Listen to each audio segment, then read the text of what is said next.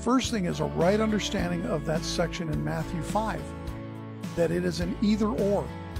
Either the earth will pass away or the law will be fulfilled and the law will pass away. Only one of those two things could make the law pass away. And the second part of it, the law being fulfilled, did happen.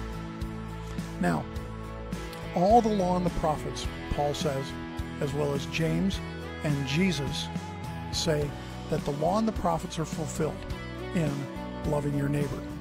If we want to fulfill the law, we fulfill the new commandment. Galatians 5:14 For the law is fulfilled in one word, even in this, you shall love your neighbor as yourself.